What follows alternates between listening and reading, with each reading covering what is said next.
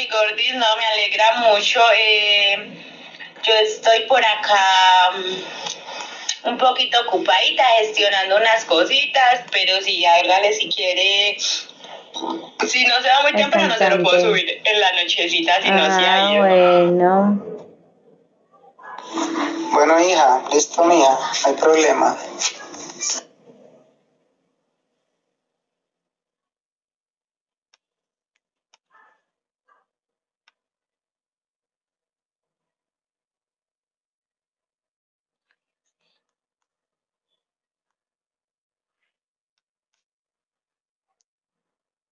Ese es el suegro, sí, ese es mi papá.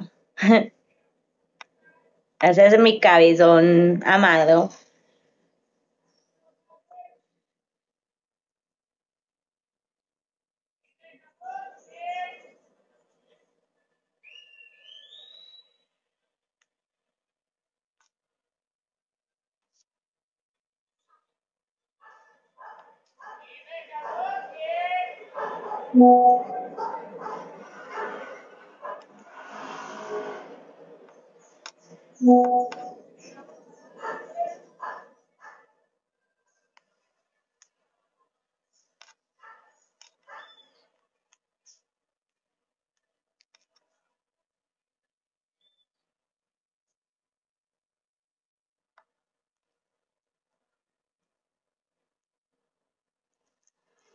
Ay, anda muy deprimido, la verdad, mi amor, ¿sabes?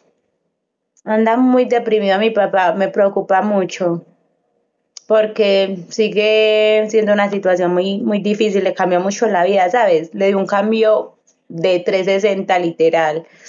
Él, la verdad, es una persona ya que no es la misma, es una persona que refleja mucha tristeza en su mirada, es una persona que siente que, que, que tiene fe y que acepta el, y que acepta, eh, y que acepta el proceso, pero que le duele mucho aceptarlo, ¿sabes? Y que nunca pensó pues que obviamente iba a pasar eso.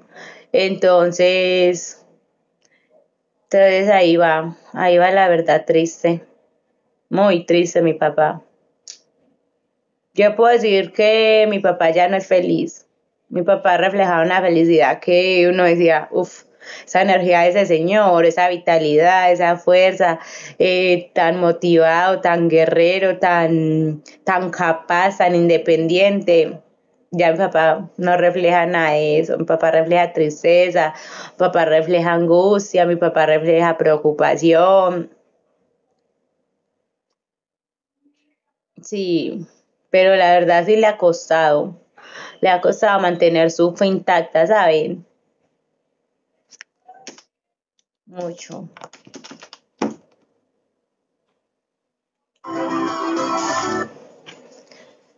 Pero a todos nos cuesta, marica, de alguna u otra forma, todos tenemos una carga en, en la cabeza, en el corazón, en, en el, en el pecho, en la vida, entonces, ay, ¿verdad que yo iba a bañar a Bella? Venga, vamos a pararnos, yo baño a Bella, ah, pero ustedes se me van allá también a pagar. Esperen, yo hago este video de una.